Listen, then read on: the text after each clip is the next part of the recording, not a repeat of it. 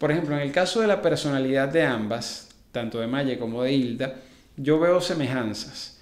Eran mujeres poco expresivas. Si ella hubiese continuado con esa proyección o con esa preparación en el mismo universo, cuidado y hasta hubiera podido ganar también. Primero tenía a su favor, obviamente, el manejo del inglés, un inglés muy fluido porque había vivido en Estados Unidos y había trabajado y había estudiado en los Estados Unidos. ¿Qué hubiese pasado si hubiese ganado María Begoña Juaristi como hasta el mismo Mel creía que iba a pasar?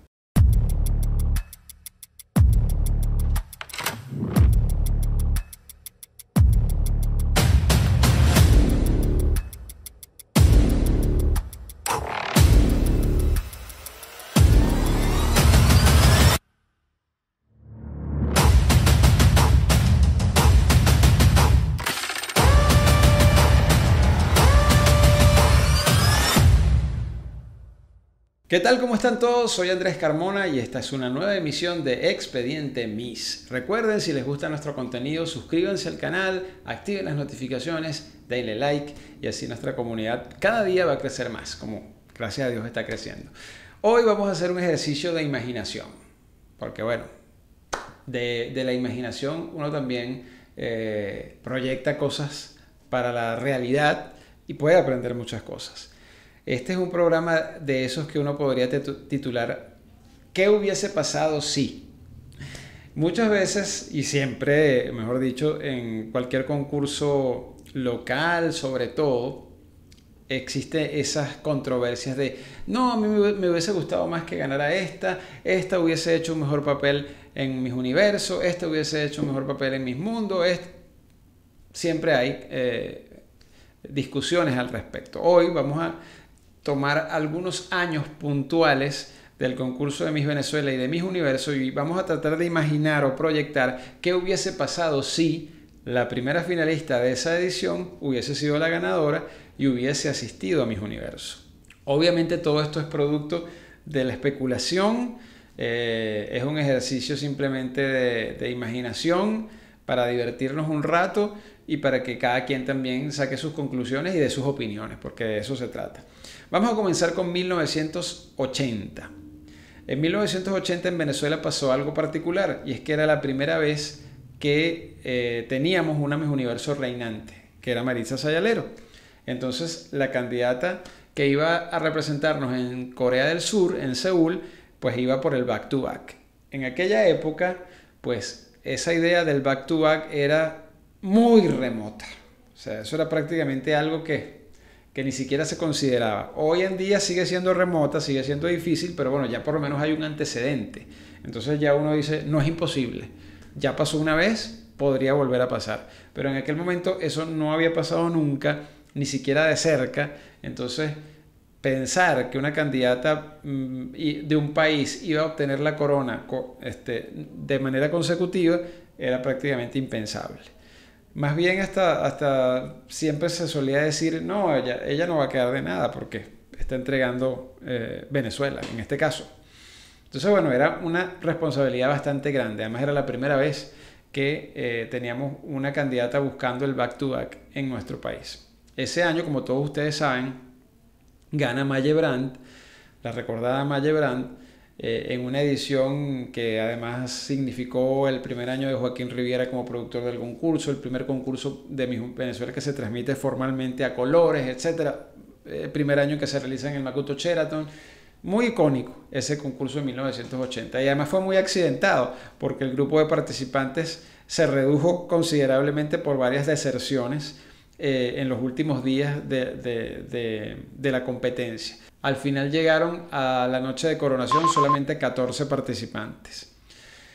No me correspondió vivir ese concurso ni esa época, pero bueno, por algo soy investigador e historiador de concursos de belleza y me he documentado al respecto también con otras personas que sí lo vivieron. Y a, a diferencia de lo que mucha gente cree, suele pasar que cuando una candidata o una Miss se hace famosa a los años como actriz, como animadora, como lo que sea, muchas personas suelen decir, es que ella era la favorita de ese año y le quitaron la corona, es que ella es la que debió ganar. Eh, no sé, hay muchos casos de eso, por ejemplo, María Conchita Alonso en el 75 y también, por ejemplo, este caso de Hilda Abrams, que a la postre se convirtió en una actriz tan reconocida hasta la actualidad. Entonces, eh, empiezan como esas leyendas urbanas de que ella era la favorita y le quitaron la corona. Bueno, en el caso de, Hilda, en el caso del, del año 80, que no me correspondió vivir ese concurso, pero he investigado y tengo mucho material eh, sobre, sobre, de prensa, sobre todo sobre esta edición. Realmente las grandes favoritas desde el principio fueron Maye, Graciela La Rosa, que era mis Amazonas, y Elizabeth Cocucci, que, que ni siquiera quedó entre, las, quedó entre las cinco, que era mis Nueva Esparta. Fue uno de esos primeros casos de grandes casos de, de lo que llamamos hoy tocuyo. Eh, Hilda también se mencionaba, pero primero Hilda era una candidata que, que estaba como subidita de peso. Eh, de hecho, ella parece que llegó bastante gordita y fue como rebajando en el camino. Entonces, claro, al principio me imagino que no la tomaron muy en serio por esa razón.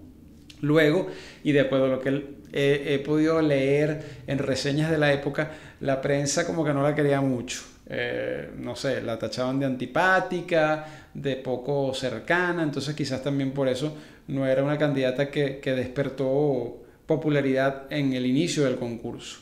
Eh, pero sí me han dicho, sobre todo las personas que vivieron esto en, en, carne propia, esta edición de 1980, que cuando sucede la presentación a la prensa, que fue tres días antes del, del, del Miss Venezuela, Hilda se vio muy bien. Ahí le cambiaron el look, ya había rebajado, entonces bueno, apareció eh, o, afloró toda esa belleza que ella tenía. Y, y ya sonaba mucho o para ganar o para quedar de segunda empezó como a desplazar a las otras favoritas que habían estado desde el principio, eh, aunque Maye seguía allí también y Graciela en la, en la pelea. Eh, siento que mm, si nosotros nos trasladamos a la edición de Mis Universo de 1980 y establecemos comparaciones, por ejemplo, en el caso de la personalidad de ambas, tanto de Maye como de Hilda, yo veo semejanzas. Eran mujeres poco expresivas, eh, no eran muy Mm, ¿sabes? Eh, de esas mujeres que, que, que, que, hablan con fluidez y dicen esas frases bonitas, eh, eh, que se ven cercanas, eran bastante parcas. ¿Y en tu vida personal? en mi vida personal, bueno. Llena, plena, feliz. Tranquila, sí, sin problema. Tranquila, ¿con nervios o sin nervios? No, sin nervios. Tranquila y sin nervios. haber sido Miss Venezuela significó conocer un poco más a mi país y a la bella gente de Venezuela. Y me ha enorgullecido más, cada vez más, haber nacido en esta bella tierra. Gracias Venezuela y gracias a todos ustedes. Eh, creo que Maya tenía un ingrediente a favor respecto a Hilda que era, más dulce, a pesar de que era muy, muy callada, era muy reservada, se veía muy dulce, se proyectaba con esa cosa de dulzura. Hilda era un poquito más, más dura, eh, un poquito más, quizás un poco más introvertida que la misma Maye. Entonces, bueno, pero ahí más o menos la situación creo que era pareja. El cuerpo, por ejemplo, siento que eh, en esa época posiblemente, y quienes la vivieron me corregirán si estoy en lo, en lo correcto o no, ya estos cuerpos un poco delgados y, y, tonificados estaban como empezando a gustar. Si nosotros vemos el cuerpo de la, de la ganadora de mis universos de ese año, que es Sean Weatherly, tenía un cuerpo parecido al de Maye, bastante delgada, marcadita, de esas personas que se ven como fibrosas, como que hacen ejercicio. Eh, la, la, sueca, por ejemplo, que entre las cinco también tenía ese tipo de cuerpo, la chica de Canadá. Eh, Hilda era una mujer más curvilínea y más llenita, con caderas anchas, eh, no era tan fitness, era, un cuerpo un poco más, eh, de esos cuerpos que uno llama de guitarra, que quizás eran más tipo años 50, etcétera, etcétera. Yo creo que ahí Maya tenía la ventaja. En cuanto a su fenotipo, creo que, bueno, a pesar de que en los años 80 las rubias eran las que mandaban, si nosotros nos ponemos a ver los grupos de semifinalistas de esas finales de los 70, principios de los 80, el grupo, el número de rubias era, era bastante alto, sobre todo tomando en cuenta que siempre hay menos candidatas rubias que castañas. Entonces, oye, que, que, que, queden cinco o seis candidatas rubias en un grupo de semifinalistas es bastante. Era, eran mujeres que gustaban mucho, las europeas en esa época, las suecas, las finlandesas. Hilda tenía un estereotipo un poco más de esa, de esa, de esa, de ese tipo de, de- belleza. Eh, era, era rubia, pero era una, una rubia no tan angelical ni tan Barbie, sino una mujer como más estilo diva de Hollywood, con esos rasgos así muy de diva, Mm, muy bella. A mí me parecía que Hilda tenía una cara preciosa. Y, y bueno, con este cabello así como medio corto, ondulado, pero también una belleza como la de Maye, que era una belleza exótica, de, de- de- ojos verdes intensos y piel bronceada, también era bastante apreciada. Si ponemos a ver, nos ponemos a ver la, la Miss de ese año, que clasificó entre las 12, tenía un estereotipo parecido al de, al de Maye. Eh, entonces, bueno, fíjense que Maye no, no logró clasificar, eh, que quedó en el puesto 21 eh, hago la acotación de que ese año estaban muy cerca las candidatas en, el promedio. Esto lo, hemos logrado investigar posteriormente con una fuente bastante confiable. Entonces, a pesar de que quedó en el puesto 21, que suena un poquito no tan cercano al de clasificar, pues sí estaban bastante cerca todas las que clasificaron ese año y, y las 10 siguientes, vamos a decirlo así. Entonces, bueno, Maya estuvo allí, vamos a decir que en la pelea. Creo que la entrevista probablemente fue lo que no le ayudó y creo que Hilda hubiese también podido correr quizás la misma suerte. No sé, no sé, no estoy tan seguro de que hubiese podido clasificar en el concurso de Mis Universos, probablemente sí, pero también probablemente le hubiera jugado en contra esta situación, creo que del cuerpo y también de, su proyección en cuanto a la personalidad. Vamos a analizar ahora el año 1986, año en que Venezuela gana el concurso de Mis Universos con Bárbara Palacios en una competencia en donde Bárbara siempre fue favorita, pero que quizás su prototipo en, eh, inicialmente no era el que uno pensaba o, o el que la mayoría de la gente pensaba que podía ser coronado como Miss Universo. En ese momento, como les digo, las bellezas rubias eran las que mandaban, una mujer como, como Silvia Martínez, que, que había sido el, el año pasado, con un metro ochenta y pico, eh, había como esa tendencia a creer que, que- que esas mujeres eran las que, las que dominaban en los concursos de belleza de aquella época. La gran favorita del Miss Venezuela 86 era María Begoña Juaristi, no era Bárbara. Bárbara era mu- muy consentida por la prensa porque además era eh, hija de, dos figuras muy queridas y muy emblemáticas en la televisión venezolana como eran Bárbara Teide y Jorge Palacios y por eso la prensa siempre la acogió y creo que además su actitud era una mujer que, que sabía manejar mucho mejor las relaciones públicas porque ella era profesional, venía como les digo de una familia de artistas, entonces creo que eso hizo que se ganara eh, el cariño de- del público y de la prensa de aquel momento, eh, eh, manejó mucho mejor esa parte que María Begoña, que ve- venía a ser de, de ser coronada Miss Zulia, una mujer para mí de las más bellas que ha habido en la historia del Miss Venezuela, con todo lo que tenía que tener una Miss, estatura, cuerpo, cara, todo. Físicamente era inmejorable, bellísima, bellísima María Begoña. Pero tenía en su contra que era muy jovencita y quizás por eso tuvo varios encontronazos y enfrentamientos con la prensa que verdaderamente si uno lee las reseñas de aquel momento no la querían para nada. La tachaban de antipática, la tachaban de, de creída, de malcriada, en fin, no la querían. Pero físicamente realmente destacaba y sin duda alguna, junto con Bárbara también, era la candidata a vencer en ese, en ese concurso de Miss Venezuela 86. ¿Qué hubiese pasado si hubiese ganado María Begoña Juaristi como hasta el mismo Osmel creía que iba a pasar? Yo creo que sin duda hubiese clasificado entre las cinco, porque realmente era una mujer con un cuerpo bellísimo, que ahí sí tenía un punto a favor María Begoña que Bárbara. Su, Bárbara, el gran talón de Aquiles que tenía era el cuerpo. El mismo Mel Sousa lo ha comentado. Era una mujer muy delgadita, muy menuda, esto que necesitaba trabajo, pues y en aquel momento el, el, el, lapso de preparación era muy corto. Entonces mejoró algo, pero no lo suficiente quizás. Fíjense que el único desfile que Bárbara pierde en el mismo universo es el desfile en tres de baño y le ganó la, la americana, tanto en la preliminar como en el día de la final. Que era una mujer mucho más acuerpada, eh, también rubia, pero María Begoña era más alta todavía que la americana, igual de bella, con un cuerpo también espectacular, o sea que ahí le hubiera ido muy bien. Creo que en donde efectivamente Bárbara tenía la ventaja era en el tema de su personalidad, porque de cara las dos eran bonitas, cada una en su estilo, pero obviamente Bárbara tenía esa cuestión ya de una mujer más madura, más profesional, con mejor oratoria. Eh, María Begoña hablaba inglés, cosa que, no hablaba, que Bárbara no tenía, pero este, todavía le faltaba. Sin embargo, yo creo que si nosotros comparamos la participación de María Begoña en el, en el Miss Venezuela y luego lo que hizo en Miss Mundo, evolucionó muy bien. Yo creo que ella se dio cuenta de que su telón de Aquiles era ese y, el, y en el Miss Mundo se mostró muy segura, muy fluida, habló en inglés. Ella tendría que haber quedado en el top 3 del Miss Mundo. Si ella hubiese continuado con esa proyección o con esa preparación en el Miss Universo, cuidado y hasta hubiera podido ganar también. Porque yo creo que realmente lo que, le, lo que hizo ganar a Bárbara fue su personalidad, más que su físico. Pero María Begoña tenía el físico y creo que hizo grandes avances en cuanto a su oratoria, en cuanto a su manera de proyectarse. Ahí hubiese tenido ahí una, una lucha también con la americana.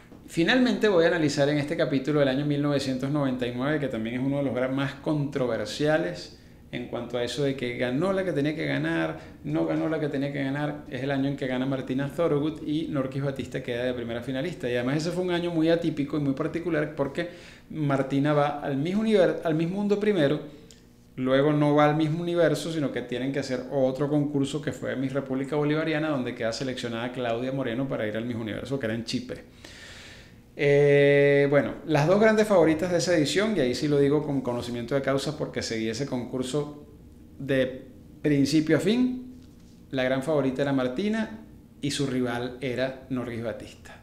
Y ahí se planteó esa cosa un poco antipática a mi manera de ver, que, que a veces ocurría en los concursos cuando había una candidata que era de, de una familia adinerada y otra que era, digamos, más popular. Entonces venía como esa, esa Mm, lucha de clases, pero trasladada al escenario del concurso. Entonces, no, esta va a ganar porque es la, la, rica, esta va a ganar porque esa se la trajo Mel Sousa de Estados Unidos y ya le puso la corona, esta no va a ganar porque es pobre. Empezaba todas esas especulaciones.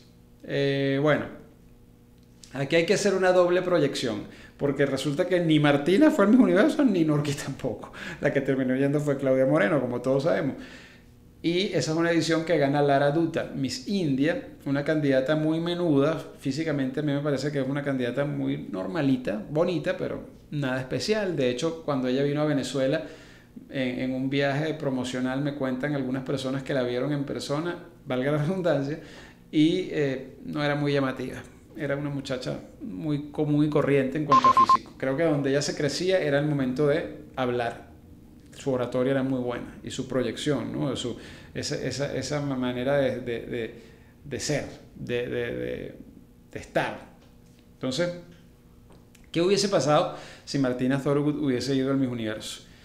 Yo creo que Martina, bueno, primero tenía a su favor, obviamente, el manejo del inglés, un inglés muy fluido porque había vivido en Estados Unidos y había trabajado y había estudiado en los Estados Unidos muchos años. No fue que, ay, hice un cursito de verano y no, o sea, lo manejaba mucho más fluidamente.